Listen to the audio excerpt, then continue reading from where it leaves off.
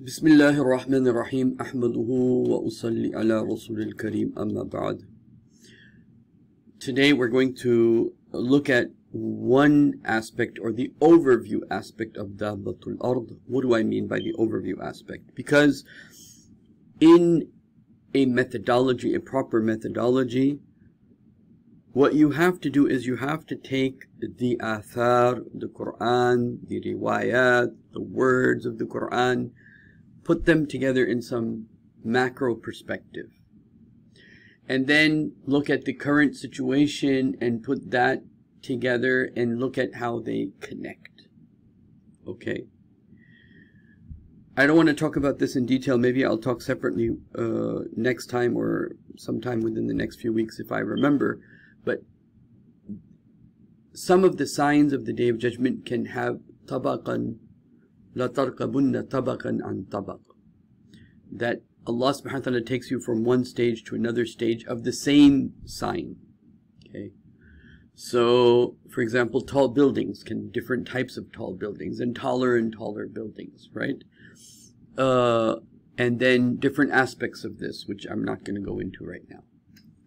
Um, then Allah subhanahu wa ta'ala says, سَنُرِيهِمْ آيَاتِنَا فِي الْآفَاقِ وَفِي أَنفُسِهِمْ حَتَّى يعني حتى يعني this is one level after another level until a certain time حتى يتبين أنه الحق so Allah gives you His ayat and they increase and increase and they uncover themselves and they show, display different aspects of, until it becomes absolutely clear. Today we're going to go over 19 tafasir regarding Dabbatul Ard with particular reference to a very crucial piece of information that Sheikh Imran Hosein has shared with us. And I would like to put the different opinions together, including the one that Sheikh Imran Hosein has pointed out, and how when you put it all together, it leads to an understanding of and how it relates to the current situation that we're in today. Okay? So, let's begin inshallah bi barakatillahi azza wa jal. Uh, so, let me start here if Allah wills. This is Imam Tabari. And Imam Tabari, he says, أخرجنا لهم دابة من الأرض تكلمهم قال هنا لا يعمروا بالمعروف ولا ينهون عن المنكر this will be a time, right, where there will be no enjoining the good and forbidding the evil. So this is the first thing in putting all the riwayat together, okay? One of the ones that is most repeated is this point, okay? And I went through maybe almost uh, close to maybe 40 tafsirs, out of which I chose 19. And this is one of the things that you will see throughout uh, the uh, the narrations. Okay, uh, هنا at that time لا يعمرون بالمعروف ولا ينحون عن المنكر and they will not forbid evil. So this will happen at that time. Okay, so this is one salient feature of that situation. Let's go to now Imam Qurtubi.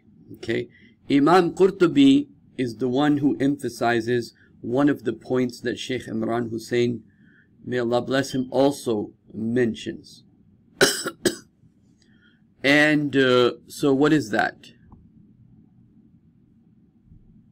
Let me now show you. Uh, I'm going to read from now here, from where it says, uh, تكلمهم تكلمهم بفتح التاء من الكلم هو جرح so one is of course kalam and we also know in the Urdu language as well as the Arabic language kalam means to talk and over here I want to make something uh, uh, clear about the word kalam okay there are different words used in Quran for the word to engage in a conversation. For example, there's the word hadith. Okay, hadith properly means a discourse. Okay, and can also mean something new. Something new is said. Okay. Uh, the other word is uh, yuhawiruhu. Wahuwa yuhawiruhu. Yuhawiruhu is a conversation that is taking place where you return back, like somebody says something and then you return back what they said to them. And then they return back to you and you return back to them. And it's a conversation that's flowing on, let's say, the same subjects or same subjects where you're enjoying a conversation. Okay, you have You have the word kalima or kalam. Okay, kalam is a, a, a phrases, words, commands that are meaningful generally and that command people to do certain things. So if there's a kalam, generally it is it is pushing you towards a certain way of behavior or a certain idea. So uh, this is kalam. So there is hadith, uh, there's qala, you know, qala he said. Qala is when you are uh, either quoting someone uh, that they said such and such. And uh, the word qala is, you know, uh, has its own, is, is a long discussion, which I'm not going to go into.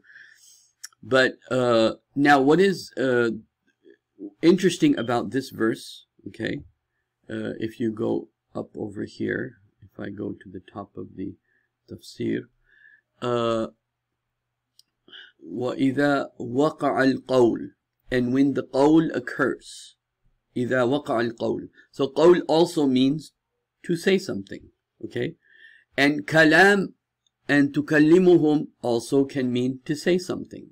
But obviously they don't mean the same thing. Okay, so the general meaning that everyone has taken is yukallimuhum, it'll talk to them.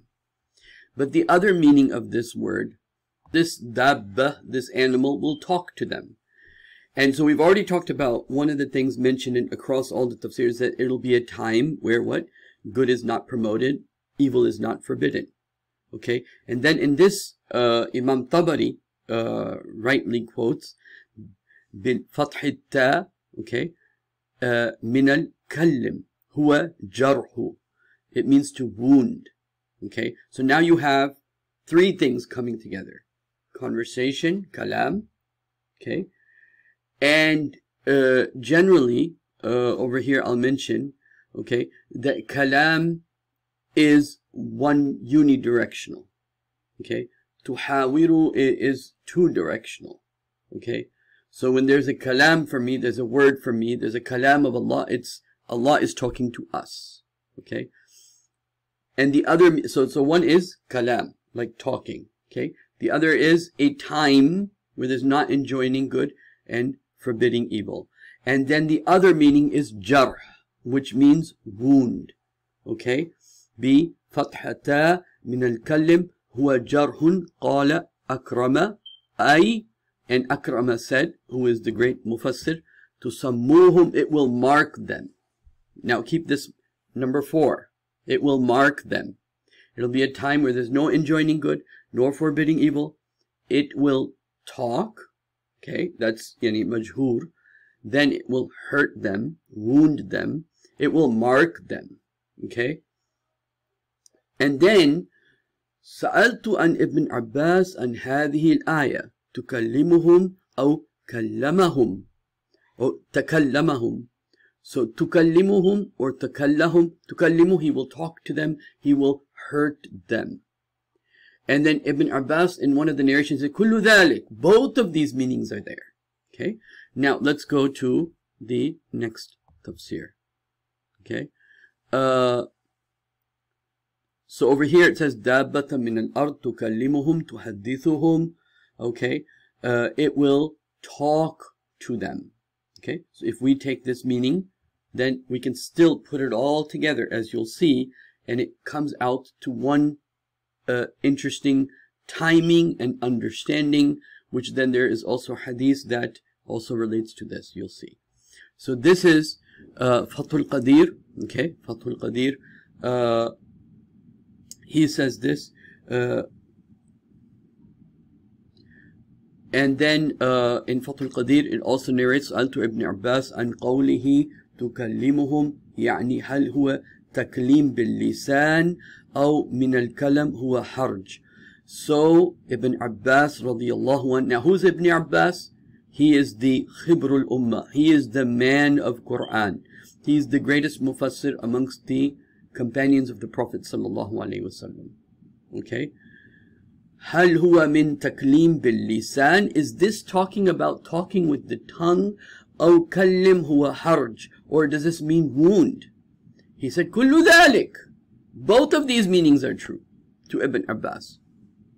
Uh, and over here, I want to mention that some of the mufassirin that held this opinion that both of them are true talk about how Dabba will go and mark the people with the staff of Musa, which I will not talk about right now because it has to do with magic. Okay? Has to do with magic. Just keep this in mind. So there's an element of magic here where you hurt people with your kalam. You hurt people with your words. Okay? There's an element of magic here. And so, uh, Ibn Abbas said, yes, both meanings hold firm according to him. Okay? So it'll be kalam that is converse, conver, conversing as well as kalam that is wounding the person. Okay, it will be a time where they're not, even though they're, it's talking, it's not enjoining good and forbidding evil. Okay, it will mark them. Okay, let's continue. Now, these are things that you'll find in many of the tafsir over and over. I'm just referencing uh, some of them that are specific to uh, but both all of these points are mentioned over and over again, as you'll see some of these that I'm going to emphasize on. Uh, uh, okay, now, uh, so I was saying about the dabbatul, dabbatul ard, you know, it's going to hit people with the staff. So they take it from that perspective, from the narrations that mention that, that it'll mark them, right? It'll put, make their faces white or black by marking them and also hit them, and he'll also be talking to them. So you find this metaphor, you can say, in the narrations of the hadith, okay? Uh, uh, now, uh, okay, I'm going to skip this tafsir for now, and let's go to this uh, tafsir, okay? Now, this tafsir uh, of Ibn Kathir, of course, is referring to what? is referring to the ahadith of the Prophet sallallahu alaihi wasallam on Dajjal, wa Duhan, wa Dabbatul Ard, wa Tulu Shams, min al uh, Maghribiha, right? And uh, and then the the and then there are other narrations. So there's many of these narrations that mention Dabbatul Ard. Now, uh, one thing that we have to kind of uh, figure out in all of this uh, and that some of the Mufassirin, Imam Razi, others have talked about, as you'll see, is that the Dabbatul Ard mentioned in the Hadith, Dabbatul Ard mentioned in uh, the Quran. Okay, so Dabbatul Ard, uh, the animal of the earth or land mentioned in the uh, Hadith literature versus the one that is mentioned in Quran, are they necessarily the same. Imam Razi asked this question, and so do some other people, so I'm just putting it out there. After quoting all of these hadiths, some say yes, some say no, and it's possible that this Dabbatul Ard will have many different manifestations, but one of them uh, becomes clear as I go through uh, this, okay? Um, in this tafsir, uh, تشكيل تكلمهم قيل تكلمهم ببطلان الأديان كلها إلا دين الإسلام okay so he will uh, talk to them about the falsehood of every religion except Islam so this is also one thing that is mentioned in many many tafsirs okay uh, and then uh, over here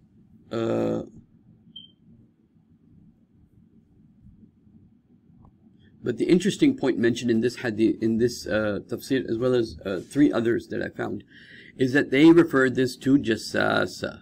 Okay, and so this is the point that because when you looking at uh, as a methodology, okay, as a method, when you're looking at narrations, you want to see okay which narrations are fitting together and which narrations are not fitting together. The narrations that are not fitting together, you do away with. And the narrations that seem to be fitting together, you put them together and see what picture you get and see what your current situation is. Now, uh, in this tafsir, one of the things that's been mentioned, well, hiya a jassasa. Okay, jassasa, just keep this in mind. You know the, uh, the hadith about uh, that mentions jassasa, right? Jassasa means spying. This was an animal that's been described in various traditions of the Prophet, but he has no front, no back. He's like hair all over the place. Now, this will also, as you will see, fit into many of the narrations when you put them all together. Okay, let's go to the. Uh, this is in the tafsir called Tashkil, and then uh, you have here again, uh, you have the uh, Alusi, تفسير Alusi, قيل هو من كلم بمعنى الجرح. Uh, the meaning of kal, kalim with a second lam is jar, wound. تفعيل للتكثير. Okay, it is the action of many. Okay, so it is uh, uh, it is like uh, it is it, it shows that there will be a lot of kalam a lot of wounding and a lot of talking okay يؤيد قراءة ابن عباس والمجاهد and etc etc and then what is that and taklimuhum taklimahum that it will wound them this dabbatul ard will wound them بفتحتا okay وسكون الكاف okay and there will be a second kaf okay تخفيف اللام بقراء بعضهم and some of them in their qira'ah, their recitation of the Quran, some of the qira'ahs, they actually say tajruhuhum and their animal of the earth that will wound them. Literally they use the word jar, jaraha, which means to wound instead of kallam, which means to talk.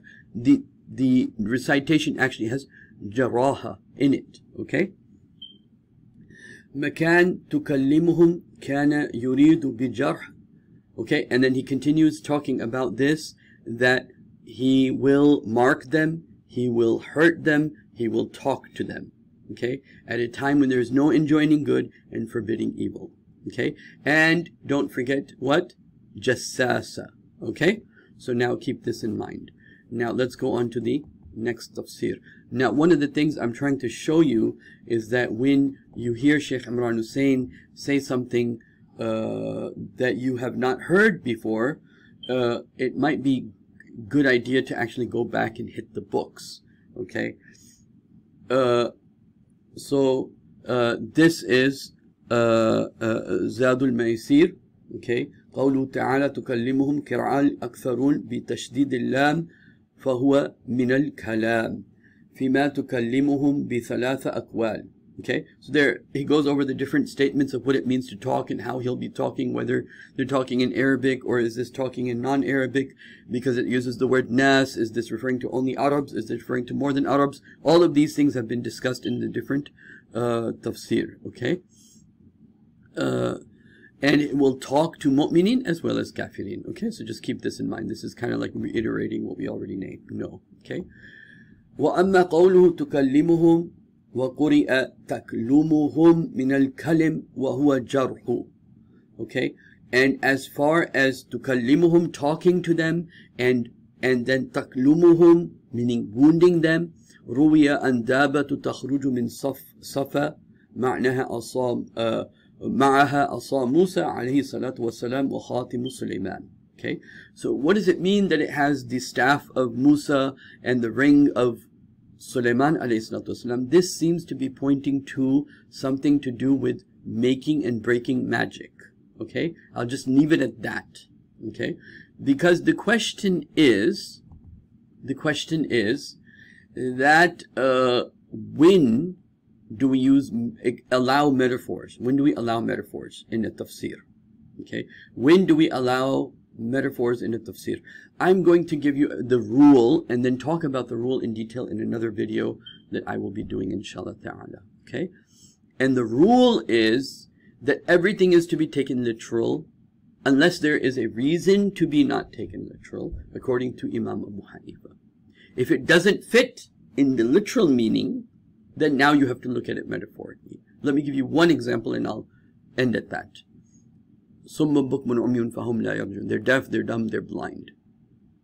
Do we take that literally?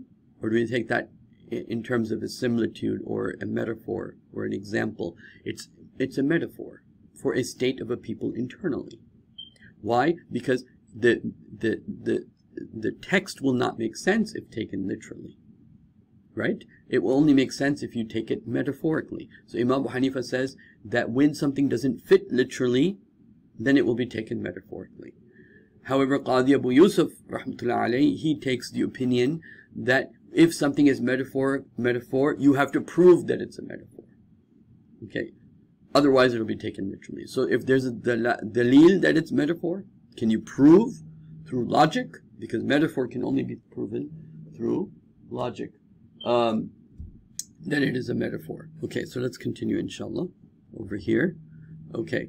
Uh, uh, قرئ تكلمهم من كلم وهو جرح روي أن دابة تخرج من صفا it'll come out from the, the Safa and Marwa معها عصا موسى عليه الصلاة والسلام مخاطي سليمان فضرب المؤمنين بين عينيه بعصا موسى and he will hit the mu'mineen with the asa of Musa uh, فَتَنْكُثُ تَنْكُثُ نُكْتَةً بَيْضَاء and then it will grow up a white thing وتفشو تلك النكتة في وجهه حتى يضيء لها وجهها and, and then his face becomes bright وتنكث الكفار هي أنفخ فتفشو نكتة حتى يسود لها وجهها and then the, the kuffar or the rejectors of the truth uh, even if they're uh, believers they will what they'll have a blackened face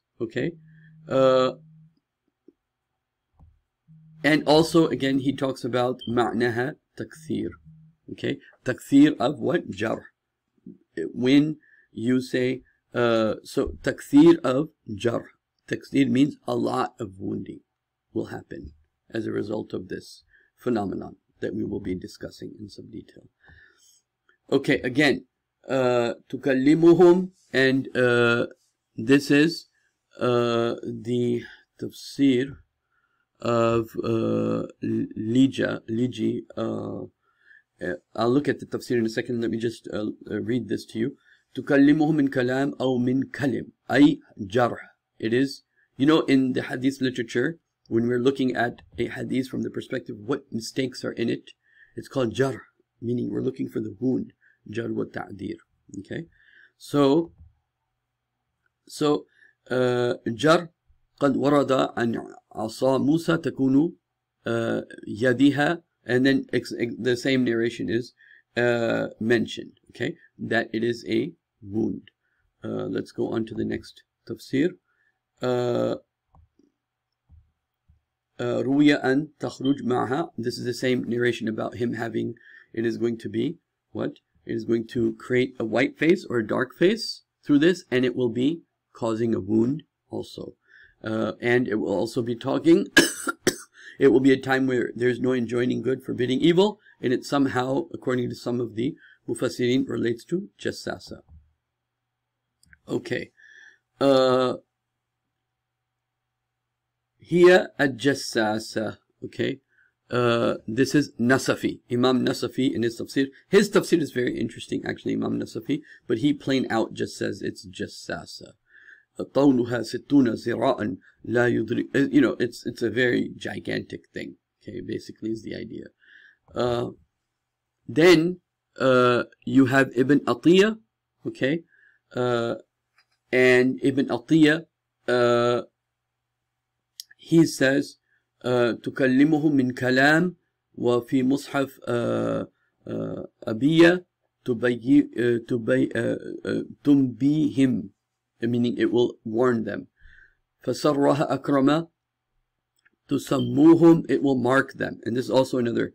So what is it that talks wounds marks at a time where there's no enjoying good forbidding evil and has to do with jassasa has to do with magic okay that will make people shine because of it and make people dark because of it. This is the question now, okay?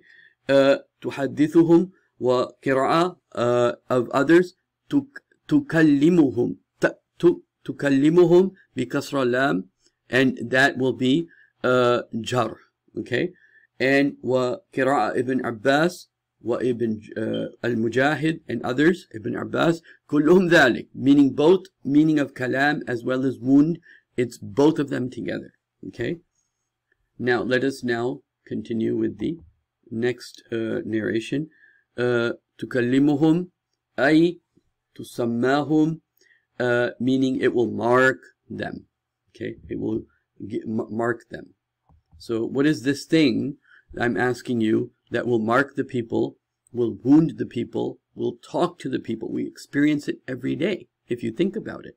Okay, and like I said, the alamatu sa'a can have different stages, but we're definitely living in a stage where there is something that talks to us and at the same time wounds us, at the same time increases people's imans as well as leads them into darkness.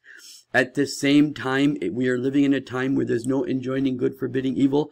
We're at a time where jasus, spying and information and surveillance, jassasa is at its peak through this system that hurts us and talks to us. Okay? So, uh, now over here, uh, let's see if I want to, uh, and uh, محاسن التأويل also mentions the ayah حتى إذا فتحت يأجوج ومعجوج ومنهم وهم من كل حدب ينصلون uh, as a part of this phenomenon. So if the Ya'juj and Ma'juj have come out, then many of the tafasirs, not all of them, but many of the tafasir link this with the Ya'juj and Ma'juj. And I'll just leave it at that for now. Okay?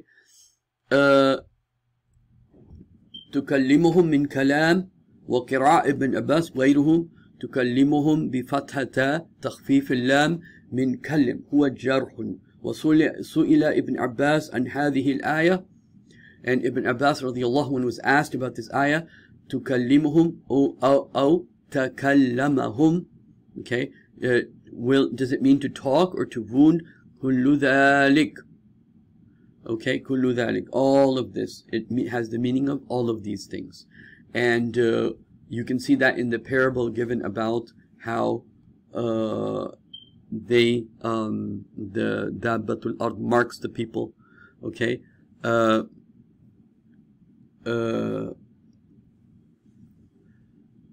again, إذا لم يعمروا بالمعروف وينحون عن المنكر a time where they will not enjoin the good and forbid the evil is when this will occur. And some of the tafsir, like just uh, one or two, mention this with, along with the coming out, out of Ya'juj and Ma'juj. And uh, in this tafsir of Kashaf, of course, uh, uh, وهي جساسة okay جساسة he says it's related to جساسة okay now, uh, now this uh, last tafsir, Ar-Razi, Imam Ar-Razi, you know, uh, أما قوله تكلمهم قرئ تكلمهم من كلم هو جرح and as far as the recitation it is it is recited in two different ways and if it is recited as taklamahum min kalim huwa jarhu روي دابة تخرج من صف uh, and then it continues saying the same thing uh, and uh, also mentions the issue of takthir uh, that it has many uh, and then he even mentions uh, أيضا على معنى تكثير يقال فلان مكلم أي مجره uh, if you say someone is مكلم uh, it, أي مجره meaning he is very much wounding of someone else. Okay? Uh, okay, so this is the 19 uh, tafsir books that I wanted to go over in regards to Dabbatul Ard. Now let's put it all together. Uh, let's see if I remember everything. It will mark the people. It will wound the people. It will talk to the people. It will be at a time there's no enjoining good and forbidding evil. It is somehow related to the idea of jassasa, Okay, it is somehow related to the idea of what? Uh, the coming out of Ya'juj and Ma'juj. It is somehow related to the idea of magic, whether it is and shayateen, referring to Musa and Suleiman, and that something of theirs they have either in this world or the next world that has that effect, that vibe, you can say. So, what is this Dabbatul Ard? When you put all the narrations together and then look at our situation uh, today, there's only one thing that's talking to us, directing our minds uh, in one direction, okay? And uh, even though kalam can mean two two ways, but it's it's you know it's generally you can say one way. So there's this one way direction, and it could be, and it could have many different levels.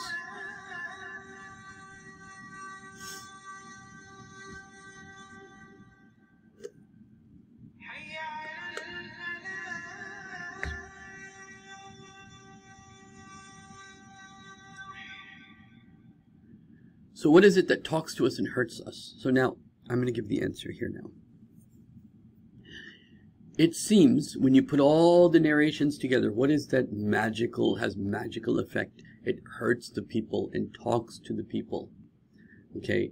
And all of these qualities of Jassasa and the coming out of Ya'juj and Ma'juj, what is it other than the media that is controlled by Ya'juj and Ma'juj that talks to us apparently and uh, there is also in the tafsir a long discussion about is it talking in tongue or is it just understood in terms of sama? Okay, and I'm not going to go into that. But the idea is yukallimun nas. It'll talk to the mankind. So it won't be talking in one language. It'll be talking either in many languages. But everyone's going to understand what it is saying, regardless of language. And is nas here a specific people or everyone? Also, that discussion is there, which I'm not going to go into right now. But when you add everything together, the magical enchantment, you know, uh, in uh, in in min al bayani sihr, the Prophet indeed in some of the communicate bayans there's magic, right? And so the, this is something that will have a magical effect. It will wound you in terms spiritually, emotionally, physically, with you know this gene one, gene two, gene you know gene, right? The the gene, you know what I mean by gene, right? The uh, gene bunch and that we're in, or the gene, uh, you know, the F-I-V-E, okay, that we're in. This is something that is going to be talking to us. It's going to be hurting us. It's going to have a magical effect. It's going to do magical things to us. It's going to uh, be the peak of, uh, or one of the peaks of this idea of jassasa, surveillance, right? Knowing where you are, what you're doing, figuring you out, right? It will be the peak of that. And uh, so now there's a lot more discussion to be had. But when you look at it from just the word, uh, not the word dabba, but what it does, okay? And then we'll talk about why the word dabba is used uh, instead of something else, uh, maybe at another time. But when you add up all these things, it'll be a time where they're not, in, everything in the media is promoting wrong things. Okay, everything in the media is promoting wrong things. We know the people that control the media today. 98% of it is controlled by Ya'juj and Ma'juj. It is having an enchanting effect upon people. It, your behavior towards it will increase your iman, will make your iman clear, or your behavior towards it will put you in darkness. This can have many meanings uh, but I'm not going to go into it. If you listen to it for good reasons, good things could happen. If you listen to it for bad things, bad things will happen. But majority of the people will be caught into the darkness of it. Okay, so I think it's clear what I'm saying, what this is all referring to. It is something that is, this frequencies, this radiation is hurting us. And the more you're using it, the more it's hurting you.